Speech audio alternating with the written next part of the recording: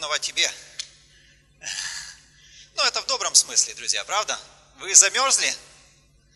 Нет? Если замерзли, потрите ручки, потопайте ножками, пока есть перерыв.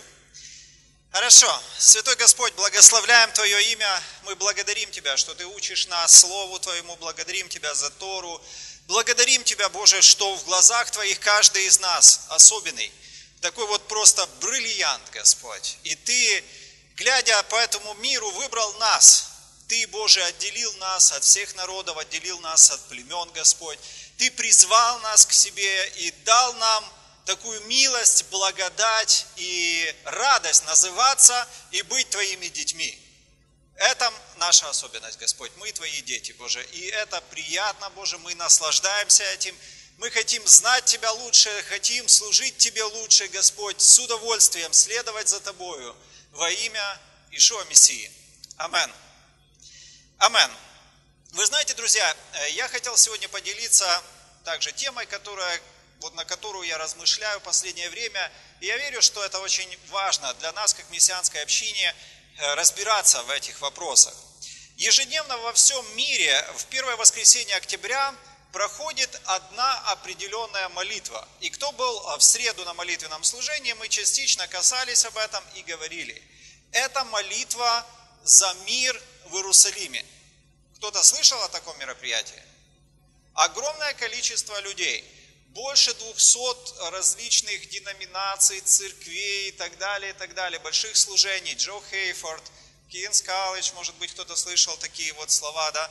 Они собираются прямо э, в самом Иерусалиме, и идет ну, такая активная молитва. При этом надо сказать, что э, израильские власти, они очень открыты.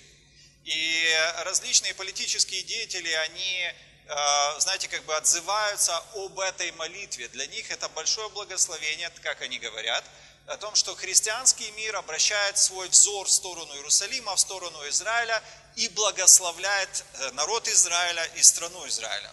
Аминь. Правда? В любом случае, может быть, э, до конца они не понимают, что такое мессианское движение там, или христианское движение. Может быть, не во всем они согласны.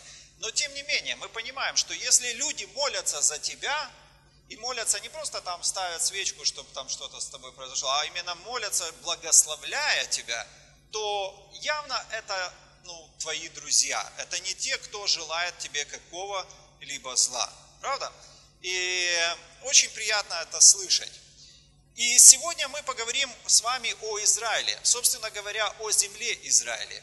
Помните, как написано о том, что это земля, которая течет молоком и медом. Когда я был маленький, я представлял себе это. Вот честно вам скажу, я очень маленький был, и тогда я уже так получилось, что я уже слышал немножко из Писания. Я представлял себе определенную такую сказочную землю. Может быть, вы видели э, вот эту вот э, сказку о шоколадной фабрике – Помните, да, Чарли шоколадная фабрика, когда там, э, например, карамельные берега, там, например, шоколадная река, там и так далее, и так далее. Вот примерно такое представление у меня было об Израиле в детстве. Я представлял землю, вот течет молоко там, и что-то с медом там связано. И причем я помню точно, что я размышлял о том, что молоко, э, кисель, кисельные, да, ну, как бы или там молочные берега. Я, я так себе думал, что в принципе не очень хорошая идея, потому что молоко я не любил, э, особенно с пенкой, знаете, или с, ну, вы понимаете, свежее, свежее нормально было как раз. Вот, ну, это для меня. Но и мед я тоже не любил, но тем не менее я понимал, что как минимум там хорошо. Как минимум там хорошо. Вот. И я не представлял, чем люди питаются, кроме молока, меда и киселя. Но думал, что как-то они там выживают. Может быть, они продают это другим странам, у которых этого нет. Итак, мы понимаем, что это всего лишь какая-то аллегория, это всего лишь какое-то представление, символ чего-то благословенного, то есть символ чего-то приятного и хорошего. Но тем не менее, а, это часто имеет отклик, когда мы говорим о земле израильской. Причем вы знаете, что многие сионисты, которые приезжали в начале прошлого века в Израиль, они именно таким Израиль представляли.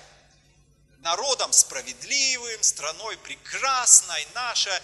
И я помню, читал э, воспоминания Голды Мэйр, когда она приехала с Америки, она вышла на перроне, э, вокруг была пустыня, каких-то два страшных верблюда проходило мимо, три грязных каких-то таких местных аборигена. И она приехала с Америки, понимаете, да?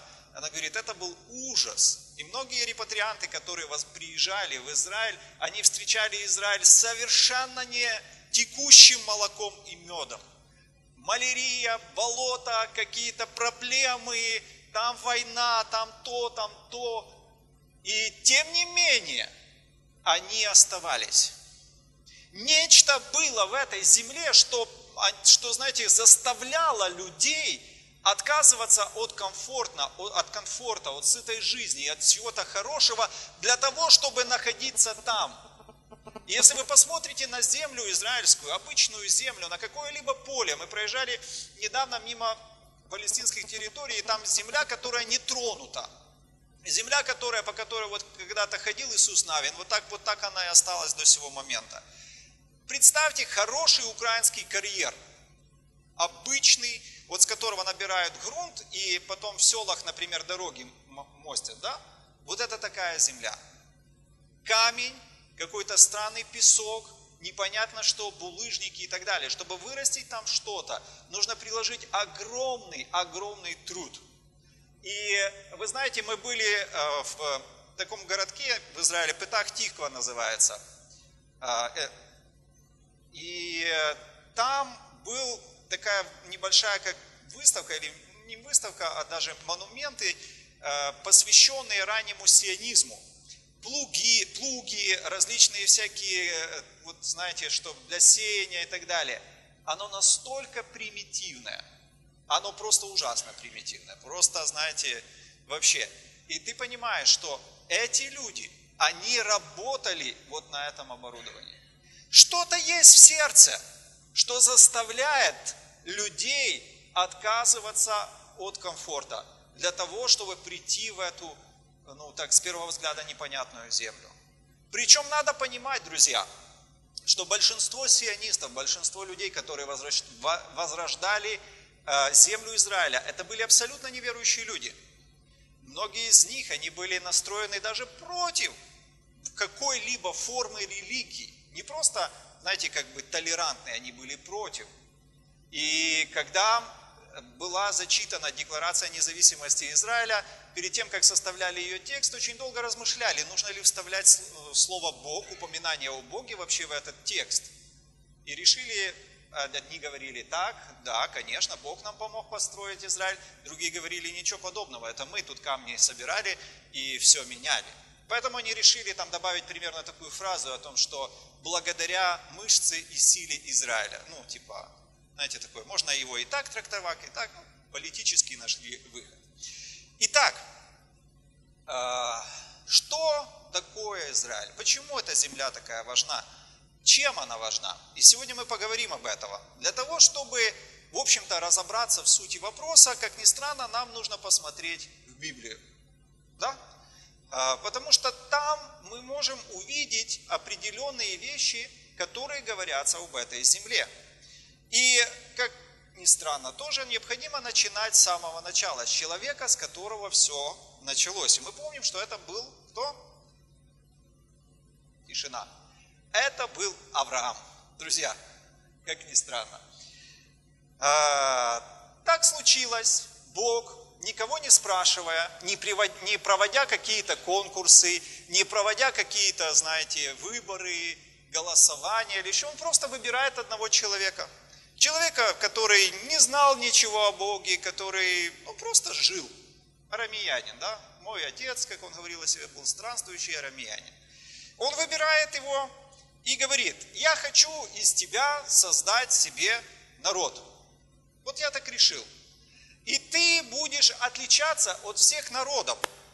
Твое потомство будет отличаться. И вы будете служить моим целям для всего мира. И книга Бытие описывает достаточно просто это призвание. Бытие 12, 1, 3. «И сказал Господь Аврааму, пойди из земли твоей, от родства твоего и из дома отца твоего, в землю, которую я укажу тебе, и я произведу от тебя великий народ, и благословлю тебя, и возвеличу имя твое, и будешь ты в благословении, я благословлю благословляющих тебя, и злословящих тебя прокляну. И благословятся в тебе все племена земные. Ну, знаменитые места Писания, прекрасно их знаем. Итак, то, что важно. Бог обещает Аврааму произвести от него что? Великий народ. Благословить его, благословить через него других людей. И он призывает его выйти в землю, которая, как написано, которую я покажу тебе. Просто человека взяли, позвали и сказали, иди в землю. Ну, фактически похоже, знаете, как в старой русской сказке. Пойди туда, не знаю куда, сделай то, не знаю что. Ну вот примерно так. Пойди в землю, я произведу, покажу и так далее, и так далее. И он пошел. И что мы видим дальше? Мы понимаем, что земля, о которой идет речь, а сегодня именно земля нас интересует, она достаточно непонятная. Нету ее границ, нельзя ее обмерять, нельзя ее увидеть, нельзя понять э, ее расстояние. Тем не менее, мы знаем, что Авраам повинуется, выходит и начинает странствовать по какой-то области. В следующей главе, когда мы читаем о истории с Лотом, помните, когда Лота взяли в плен, Авраам его отбил там и так далее, и так далее, целая история, мы не будем касаться деталей. Тем не менее, Бог снова обращается к Аврааму и говорит, и сказал, это 13 глава с 14 по 18 стих, и сказал Господь Аврааму, после того, как Лот отделился от него, возводи очи твои и с места, на котором ты теперь, посмотри к северу и к югу, к востоку и западу. Ибо всю землю, которую ты видишь, тебе дам я, и потомству твоему навеки. И сделаю потомство твое, как песок земной. Если кто может сосчитать песок земной, то и потомство твое сочтено будет. Встань, пройди по земле сей в долготу и в ширину ее, ибо я тебе дам ее. И двинул Авраам шатер, и пошел, и поселился у Дубравы Мамре, что в Хевроне, и создал там жертвенник Господу. Вот Бог обратился к нему и говорит, посмотри. Хорошо, сначала он сказал, выйди которую я тебе укажу. Вот тут он уже говорит, посмотри на эту землю. Ну, давайте мы представим, что мы залезем на самую большую какую-то гору, которая есть в Израиле. В Израиле невысокие горы. Так, по, по современным пониманиям гор. Да? Ну, холмы там и так далее, и так далее. Сколько можно в, там в солнечную погоду увидеть направо, налево? Ну, по 50 километров, да? Это так, если все хорошо. Мы понимаем, что Авраам, конечно, был уже немножко не в том возрасте, но тем не менее. Посмотрел, и Бог говорит, пойди в ширину, пойди в долготу, и туда пойди, и сюда. Путешествуй. В принципе, обратно же ничего не понятно. Правда? То есть человек ходит по какой-то территории, но Бог говорит, что вот эту территорию я дам тебе и потомству твоему. И знаете, что тут написано? Ни много, ни мало. Он говорит, что я дам вам навеки. Навеки, то есть это не просто на сто лет, это навсегда. Это то, что будет длиться снова, снова и снова. Итак, мы видим дальше, идем дальше в 15 главу. Бытие 15 глава, когда Бог заключает с Авраамом завет. И сказал ему Господь, и сказал ему, я Господь, который вывел тебя из Ура Халдейского, чтобы дать тебе землю сию во владение. Он сказал, Владыка Господи, почему мне узнать, что я буду владеть ею? Господь сказал ему, возьми мне трехлетнюю телицу, трехлетнюю козу, трехлетнего овна, горлицу и молодого голубя. Он взял всех их, рассек их пополам и положил одну часть против другой, только птиц не рассек. И налетели на трупы хищные птицы, но Авраам отгонял их. При захождении солнца крепкий сон напал на Авраама, и вот напал на него ужас и мрак великий. И сказал Господь Аврааму, знай, что потомки твои будут пришельцами в земле не своей, и поработят их, и будут угнетать их четыреста лет. Но я произведу суд над народом, у которого они будут в порабощении. После сего они выйдут с большим имуществом а ты отойдешь к отцам твоим в мире и будешь погребен в старости доброй. В четвертом роде возвратятся они сюда, ибо мера беззаконий Амареев доселе еще не наполнилась. Когда зашло солнце и наступила тьма, вот дым, как бы из печи и пламя огня пришли между рассеченными животными. В этот день заключил Господь завет с Авраамом, сказал, «Потомство твоему даю я землю сию, от реки Египетской до великой реки, реки Ефрата, Кинеев, Кинезеев, Кадманеев, Хитеев, Ферезеев, Рифаимов, Амареев, Хананеев, Гергигеев и Иевусеев. Обратно же, в данном исследовании мы смотрим о земле. Мы видим, что здесь Бог не просто что-то пообещал, Он заключает завет с Богом, с Авраамом, и говорит, я, в общем-то, с тобой как бы договариваюсь. И говорит, земли вот таких-то народов я даю тебе. Это то же самое, что представьте, Бог вам говорит, землю Франции, Англии, Польши, Украины, Германии, Испании, Италии я даю тебе. Скажите, пожалуйста, вы можете посчитать километраж? Почему нет? Откройте Википедию и посчитайте, буквально очень легко. Вам нужно знать площадь каждой страны, да? Вы даже границы можете узнать, потому что у каждых из этих народов были свои границы. Сейчас эти народы не существуют. Сейчас все стерлось, поменялось уже 300 раз. Но суть в том, что для Авраама это было понятно. И Бог говорит, я с тобой в заветных отношениях, я обещаю, что я дам тебе. Но это произойдет позже. Твои будущие дети, твои потомки, они выйдут отсюда, с этой земли, но потом вернутся. Но потом вернутся. Итак, сам Бог становится гарантией того, что эта земля будет принадлежать потомкам Авраама. Подумайте, сам Бог становится гарантом. И разумеется, что у большинства народов, которые существуют в этом мире, есть своя земля. Согласитесь, не так много народов, которые кочуют у нас. Мы знаем, что они есть, но по большинству своему у всех народов есть своя земля. И тем не менее, отношение еврейского народа к Эрец Израиль очень особенное. В чем, э, в чем эта особенность?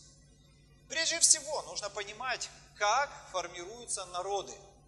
Как формируются народы? Как, как вообще появляется государство?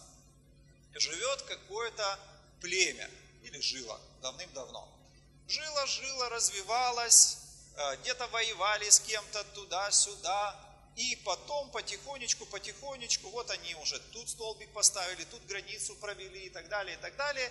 Так появилось государство. Государства начали появляться, укрепляться, объединяться и так далее. То есть мы понимаем, что э, когда мы говорим, например, о французах, французов кого мы называем? Потомков, потомков галов, франков, некоторых других племен, они жили на территории Франции и постепенно стали народом, который мы знаем французы. Да? Возьмем, например, русский народ или там великороссы, как мы говорим.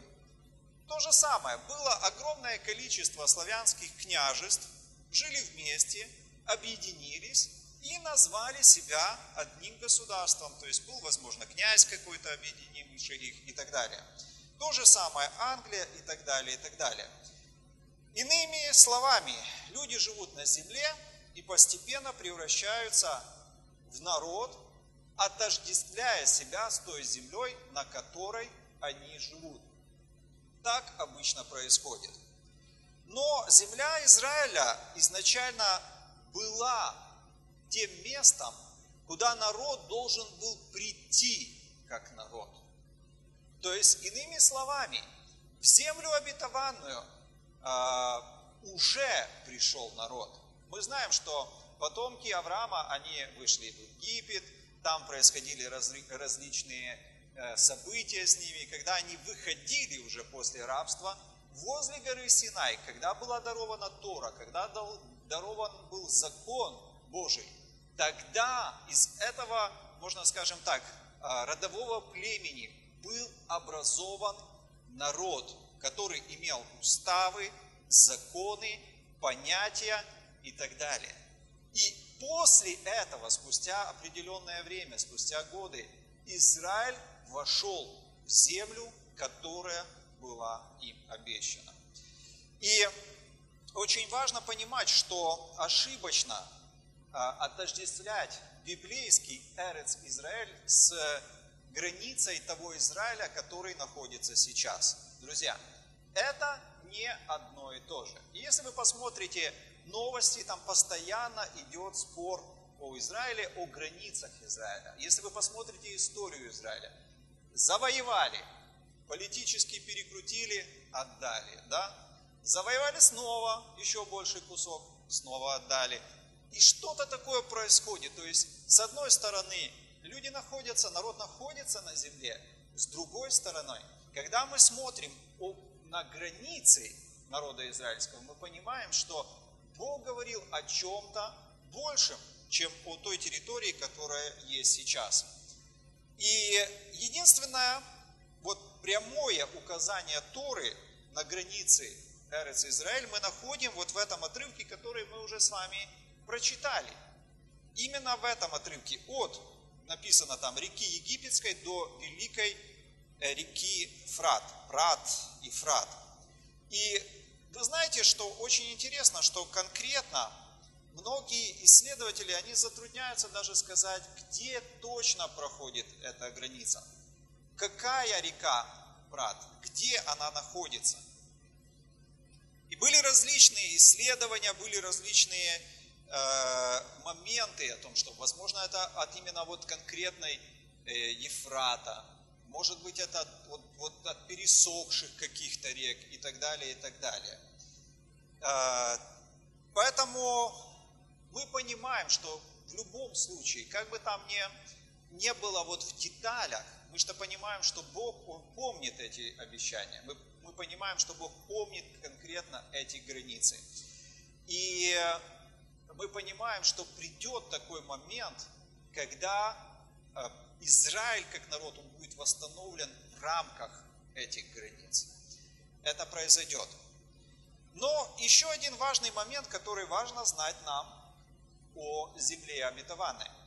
Дело в том, что Писание говорит нам, традиция указывает, что владение землей Израиля – это обещание Божье для еврейского народа, реализация которого связана с выполнением условий нахождения в завете и взаимоотношениях с Богом. Это очень-очень важный момент.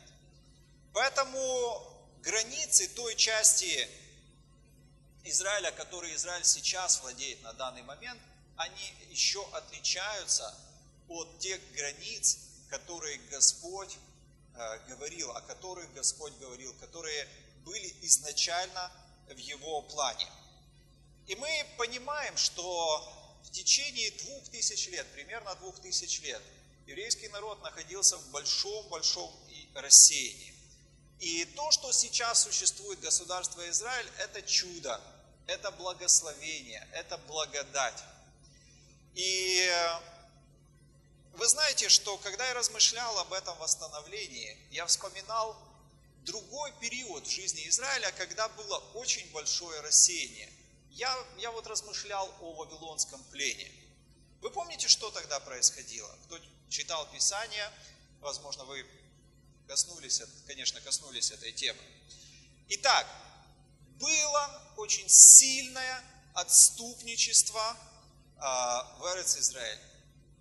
Люди начинали грешить, люди перестали следовать за Богом, люди отходили от Бога.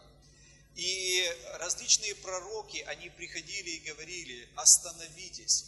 Исаия, Иезекииль, Иеремия приходили, плакали различными знамениями, различными такими э, просто умоляли народ покаяния, умоляли народ возвращения. Но мы знаем, что все равно люди не услышали их, и Израиль был забран в плен в Вавилон.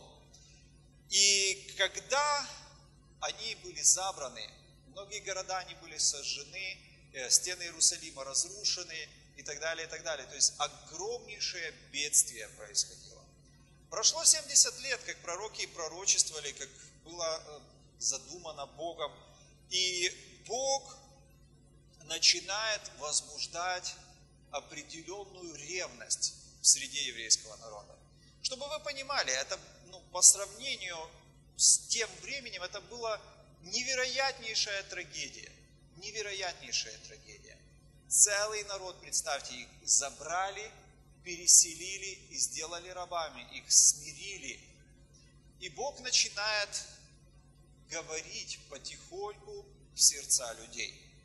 Мы помним, да, что люди, они, в общем-то, были рожденные свыше, они были простыми людьми, которые где-то что-то слышали. 70 лет прошло. 70 лет. Когда ты живешь 70 лет в другой стране, будучи рабом, вы знаете, есть все шансы забыть то, что было раньше. Мы можем посмотреть по истории э, нашей, нашей территории, да, что было 70 лет назад. Мы, не, мы с трудом понимаем и помним, и то благодаря современным технологиям, каким-то фильмам, документальным фильмам, книгам, мы можем что-то почитать о том времени. Но даже сейчас, если вы спросите наших детей, кто такой, например, Ленин, или Молотов, да, или там, например, Троцкий, они не смогут ответить. Потому что для них, хотя это не, не такая уж и далекая история, вот 70 лет назад это происходило, они уже не знают, кто это. И мы понимаем, что время забыть свои корни, забыть какие-то свои, э, знаете, то, откуда ты взят, было очень-очень легко. Поэтому в конце, когда Бог, вывел Израиль из плена, вернулось всего около 42 тысяч людей. Из всего народа вернулось около 40 тысяч.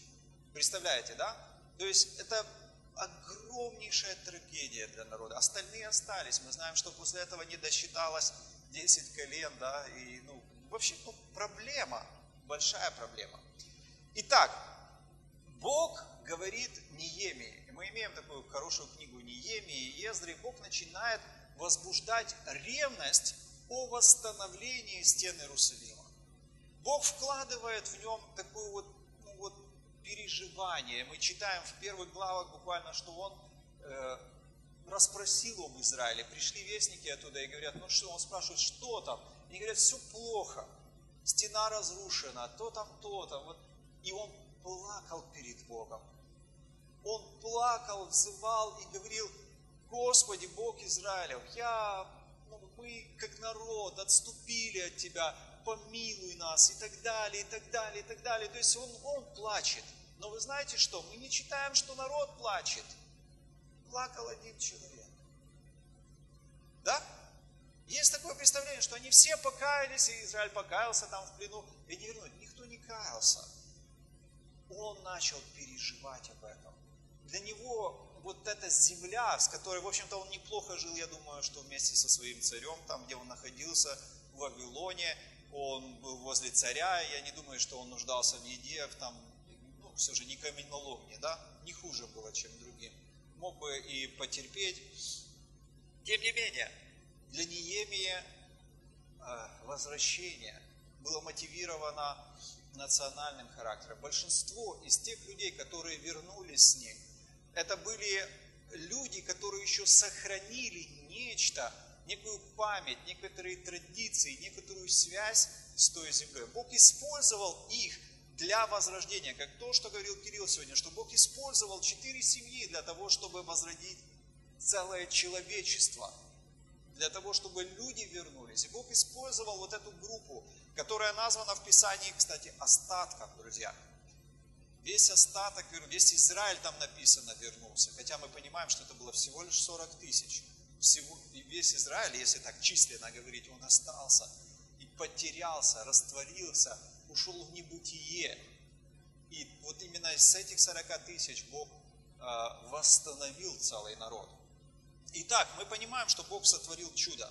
Бог произвел в определенном смысле пробуждение, хотя мы не, мы не видим обратно же, что все эти 40 тысяч, они именно вот предстояли перед Богом день ночь, и именно, знаете, как бы были такие э, пламенеющие, посвященные Господу. Наоборот, мы видим, что Неемия сталкивался с достаточно серьезными проблемами. Он говорит, вы, вы видите, что эти люди отстраивают стену, а вы даете им деньги в долг под там, сумасшедшие проценты.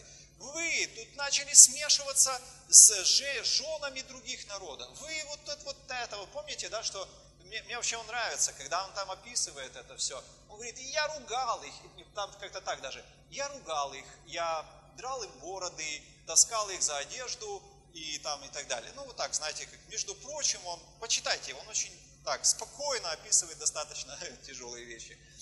И тем не менее, не пробуждение вернуло их в землю обетованную. Не пробуждение. Бог использовал их для этого возрождения. И только позже, когда была э, зачитана книга закона, когда взяли Тору, и книжник Ездра начал ее читать, в сердцах народа начало что-то происходить. Посмотрите вот по, по главам Неемии. И там написано, Неемия 8.8, «И читали из книги, из закона Божия, внятно, и присоединяли толкование, и народ понимал прочитанное. И когда начали читать книгу, и там написано, что народ приходил снова и снова, был сделан помост, э, священники выходили, выносили Тору читали из закона. Читали. Народ начал прозревать. И там написано, что они не праздновали праздники уже годами. И было решено, что надо праздновать. И пускай это даже были праздники, знаете, как бы не во время, не, не в то время конкретное, когда это нужно, но они хотели их праздновать, потому что внутри них начало пробуждаться вот это призвание быть Божьим народом. Они начали чувствовать, видеть, переживать определенные вещи, что мы не просто народ, как все народы, мы были в плену и вернулись. Да сколько народов было в плену и вернулись или не вернулись? Огромное количество. Такое время тогда было. Всех брали в плен, кто-то возвращался, кто-то не возвращался. Понимаем это, да? И они начали видеть, что оказывается, есть определенная книга, есть определенное призвание. Не просто мой прадед здесь жил. Мой прадед был тот, кто являл Бога, и я имею такое же призвание. Они начинали видеть Божий призыв для своей жизни. Они начинали переживать его по-новому. И мы видим, что это было выражено через большое действие чувы, покаяние. Когда люди отпускали неверующих жен, как и языческих жен, когда прощались долги, когда происходили определенные изменения, когда люди начали по-другому смотреть на все то, что происходит, и говорить, Бог наша опора, Бог наша защита, Бог нам будет помогать. И мы знаем, что это, это было огромным временем подъема Израиля. Хотя на самом деле, если мы посмотрим, это была небольшая группа людей, пускай 50 тысяч человек, пускай непонятно сколько их было, их было мало. Они были рассеяны, беднота была невероятная. Все то, что происходило, вокруг них были люди, которые их ненавидели. И их было намного, намного, намного больше. Но нечто из призвания, нечто из завета, из благословения, из обетований, которые давал им Господь, оно не давало им покоя. Друзья, огонь начал гореть. И мы знаем, что Израиль был восстановлен в то время. Непростое, очень сложное. Произошло обновление, произошло пробуждение, произошла жизнь. И люди, которые остались в рассеянии, они канули в небытие. Они остались где-то там в Вавилоне, они остались где-то там. Поначалу было хорошо, а потом они забыли о том, что есть призвание. Они не стали отождествлять себя с Богом Израиля. Они просто начали жить дальше. Итак, мы видим, что Бог связывает нахождение еврейского народа на обетованной земле с их хождением перед Ним. И в случае их отступничества они будут изгнаны, а в случае послушания они будут утверждены на земле. И Второзаконие 4 глава 25 и 27 стих говорит, «И если же родятся у тебя сыны и сыны у сынов твоих, и долго жив на земле ты, вы развратитесь и сделаете изваяние, изображающее что-либо, и сделайте зло сие перед очами Господа Бога вашего и раздражите его, то свидетельствует вам сегодня небом и землею, что скоро потеряете землю, для наследования которой вы переходите за Иордан. Не прибудете много времени на ней, но погибнете. и рассеет вас Господь во всем народам, и останетесь в малом числе между народами, которым отведет вас Господь. И 28 глава Второзакония, 64 стих. Одно из проклятий, помните, да, глава, были главы благословений и проклятий. «И рассеет тебя Господь по всем народам, от края земли до края земли, и будешь там служить иным богам, которых не знал ни ты, ни отцы твои, дереву и камням». Итак, друзья, основные понятия заложены. Основные понятия заложены. Еврейский народ всегда смотрел в сторону земли обетованной, особенно в сторону Иерусалима, святого места, где находился храм, где находилось выраженное присутствие Божие. И 18 глава Второзакония, 18-19 стих говорит следующее. «Я, Бог, воздвигну им пророка из среды братьев их, такого, как ты, Маше, и вложу слова мои в уста его, и он будет говорить вам, и он будет говорить им все, что я повелю ему. А кто не послушает слов моих, которые пророк тот будет говорить моим именем, с того я взыщу. С того я взыщу. В другом переводе, с того я спрошу. Кто не послушает слов пророка, я спрошу с него. То есть будет спрос, почему ты не послушал. И когда мы читаем об этом месте Писания, мы понимаем, что речь идет о Ишуа, о том пророке, о том помазанном, о Машехе, которого Господь привел в этот мир. Был ли Ишуа подобен Маше? Конечно же был. И даже больше того. Пророк говорит то, что Бог ему говорит. Он говорит от имени Бога. И мы знаем, что Ишуа говорил от имени Бога. И делал то, что Господь конкретно ему говорил, делал. Более того, он не просто говорил от имени Бога, но он сам являлся Богом, который был среди своего народа. Он говорил то, что Отец хотел, чтобы он сказал. Потому что он говорил в Иоанна 10, 30, «Я и Отец одно. Я и Отец одно. И мы знаем, что Моше, Моисей, объяснял систему умилостивляющих жертвоприношений. Он объяснял систему того, как можно приблизиться к Богу посредством жертвы, как можно стать ближе, познать Бога. И мы понимаем, что Маше установил систему Каганим, систему священников – которой мы знаем, что его брат Аарон был э, Каген Гадоль, или великий священник, высокий священник. И он служил в скинии завета. То, что мы видим в Писании. Мы понимаем, что воскресший Ишуа, он является нашим Каген Гадоль, великим первосвященником в скинии небесной славы, которая служит именно прообразом этой земной скинии. Как написано, если мы посмотрим Евреям с 7 по 10 главы, вы можете почитать об этом. Он является нашим первосвященником. Он является тем, кто, явля... кто ходатайствует, умилостивляет Бога. Ни одним словом Ишуа не противоречит Торе, не противоречит тому, чему учил Маше.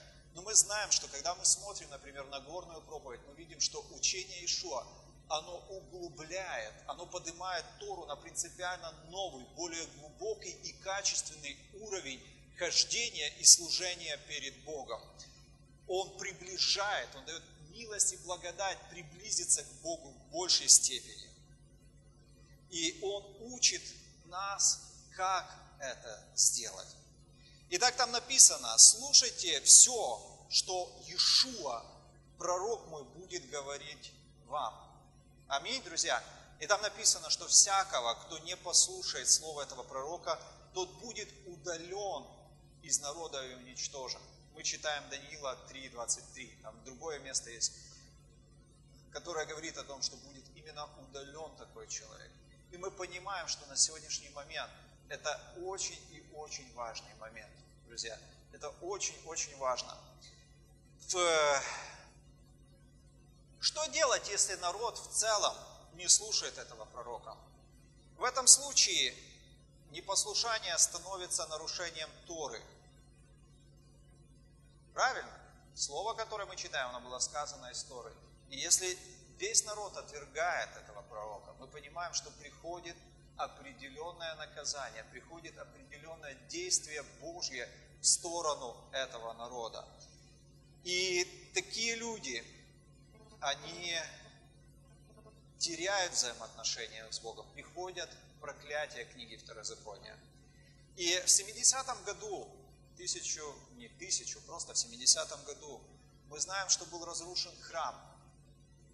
Изгнание из Иерусалима произошло всего еврейского народа в 135 году. Помните, когда было восстание Бархокры, восстание националистов, которые хотели вернуть славу Израиля и так далее, и так далее.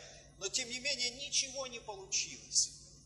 И все эти годы, если мы посмотрим историю еврейского народа, они просто умоляли, говорили, давайте как-то организуемся, давайте, э, мы готовы верить в кого угодно.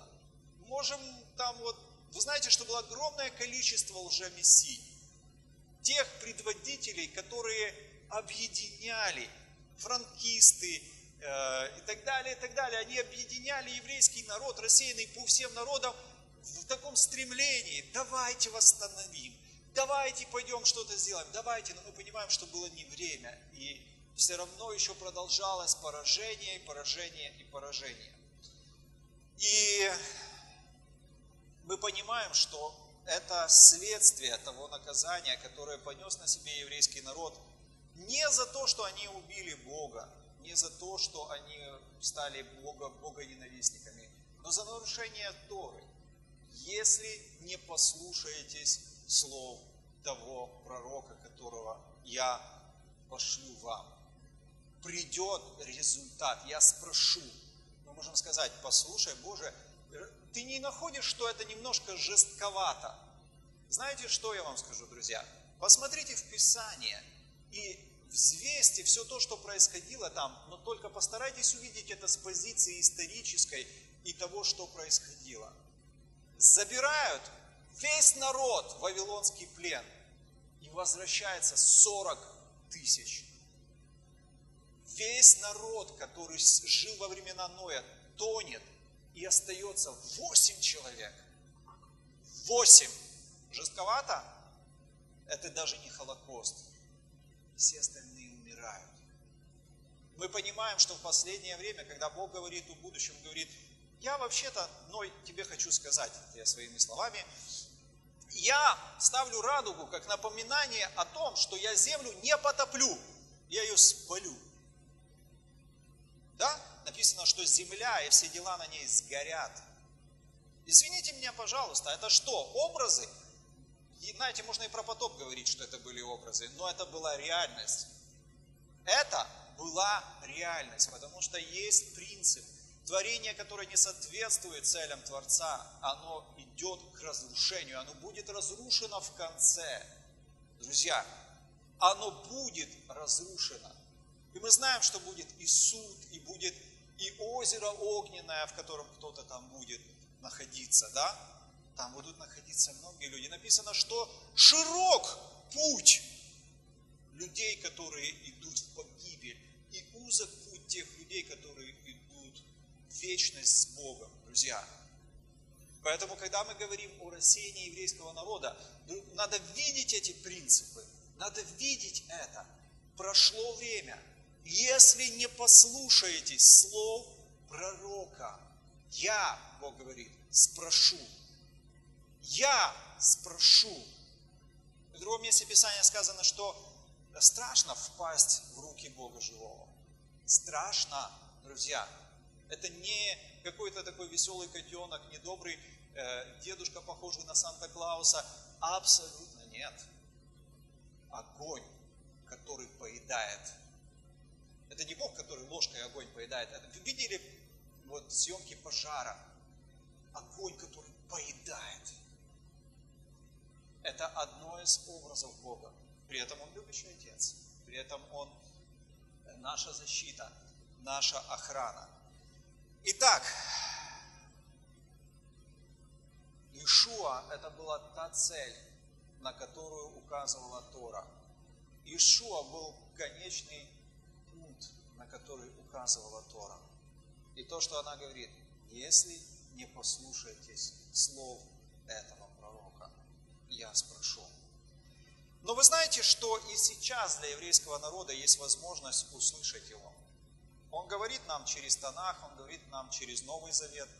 И тот, кто прислушивается к нему, он становится частью этого остатка Израиля, этих спасенных людей, которые выходят из рабства и приходят в святое место. Если послушаетесь слов пророка. Как верующие Нового Завета мы призваны священнодействовать перед Богом. И наш удел не просто ходить на служение, петь веселые песни, прославления, но наш удел, как верующих людей, делать Ишуа известным. Делать Ишуа известным. Помните то, что мы читали, Неемия 8.8? И читали они книгу Торы Божией внятно истолкованием читаемого.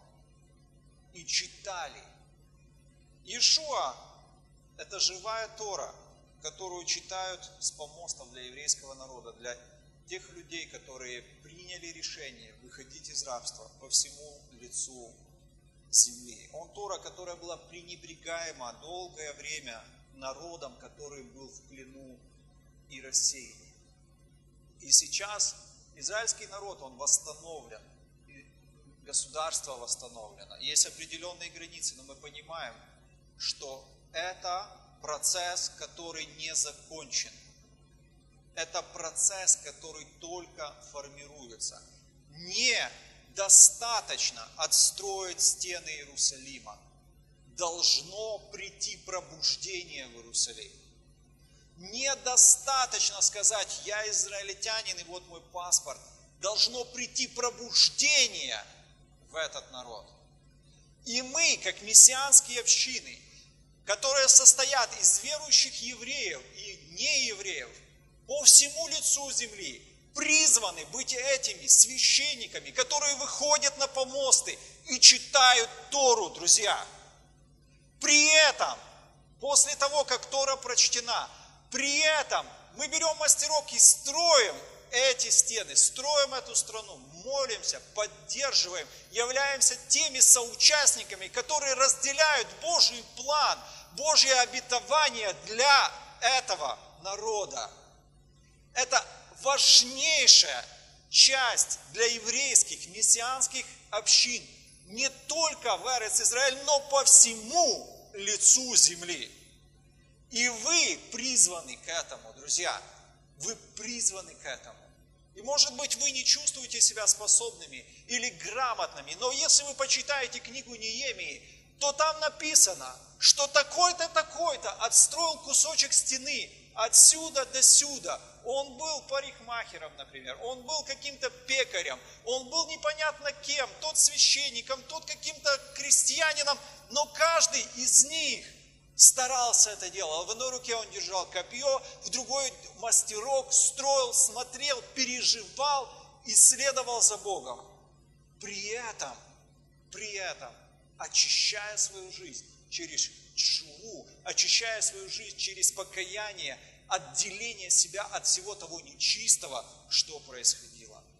Я призываю вас, друзья, молиться за Израиль, быть теми, глашатаями, которые стоят на стенах Иерусалима, стоят на страже этого народа, которые не просто периодически, раз в год или когда-то там молятся за Израиль, но теми, кто живет этим как частью своей жизни, мы призваны в тот же завет, в который призваны одни. В завет через Иешуа, Мессии. И мы верим, что придет такой день, придет такой момент, Бог обещал и исполнит, когда границы будут восстановлены в соответствии с тем, как Он разделил. И здесь нужна Его мышца. Здесь нужно Его влияние. Здесь нужно, чтобы сердца людей внутри были изменены. Чтобы вот это вот состояние, как у Неемии было, он, когда он в первой главе мы читаем, он плакал и говорил, Боже, воспомини народ свой, ну выведи нас. И мы видим, как он приезжал, как он переживал, когда у него не было охраны, как, как, знаете, просить ли охрану у царя. Сейчас вокруг Израиля много царей, у которых хочется попросить охрану. Но он говорит, чтобы они не говорили, я попросил охраны у Господа. Я помолился, и Господь милостиво дал нам благодати проехать караваном и начать. И мы видим, что Бог располагает в сердцах Израилю самых-самых разных неверующих людей. Вот просто сравните историю Неемии историю вот сионизма, историю образования государства Израиль. Сравните, вы увидите очень интересные параллели. Как царь, который был невероятно влиятельный, в принципе, ему этот Израиль 300 лет нужен. Ему говорили о том, что, послушай, царь, нам известно про этот город, что это был город бунтарей всегда. Зачем его отстраивать? Давай не будем. Мы знаем, что когда Советский Союз э, на голосовании в Организации Объединенных Наций поддержал государства Израиль. Это тоже было чудо, потому что все время Советский Союз поддерживал арабский мир. А здесь они сказали, будет. И стал Израиль. И стал Израиль. Но он должен стать Израилем по сердцу Божьему. Израилю, а Израилем, который следует за Ишуа, следует за Богом, не по принуждению, но по по сердцу, по огню в сердце, друзья. Амен. Давайте мы помолимся за Израиль. И я вас прошу, держите Иерусалим в сердце своем, держите Израиль в сердце своем. Оберегайте это как жемчужину. Это важно для Господа. Амен. Амен. Спасибо тебе, Боже, что Ты дал нам благодать и милость быть частью того пробуждения, Господь частью Твоего действия, Божие, которое Ты имеешь, которое направлено в сторону Израиля, в сторону земли, Господь. Мы благодарим Тебя, Отец. Благодарим Тебя, что Твое Слово «да» и «аминь», что Ты не отменяешь своих обетований, что Ты не отменяешь то, что было обещано Тобой, Боже, что Ты восстановил Израиль сегодня, Господь. Но мы просим о настоящем пробуждении – мы просим о настоящем Боже, э, таком открытом, просто, я не знаю, Господь, чтобы народ, как тогда, во времена Неемии и Ездры, услышав Слово, стояли и плакали. Чтобы вот это желание угодить Тебе, желание приблизиться к Тебе, желание следовать за Тобой, оно было именно изнутри сердец людей, Господь. Эй, Ты сделал нас этими священниками, которые читают Тору, которые читают о Ишуа, которые которые были обращены к этому народу. Боже, дай нам благодать и милость не умолкать. Дай нам благодать и милость, Боже, взывать, ходатайствовать, быть этими стражами, которые стоят, Боже, на стенах Твоих, Иерусалим. И пускай мы не живем в той стране, но мы переживаем за нее. Но пускай мы не живем, Боже, но мы говорим мир на Израиль. Мы говорим благодать на Израиль. Мы говорим благословение. Отец, и всякое невежество, неправильное понимание этих вещей, да будут разрушены в сердцах каждого человека. Господь, дай нам переживать Твои цели. Дай нам, Господи, всем своим сердцем, Боже, научиться показывать любовь к народу, к тому, что Ты любишь, Господь, именно так, как Ты этого желаешь. Благословляем Тебя, Царя Славы. Благословляем Тебя, Бога крепкого. Эй!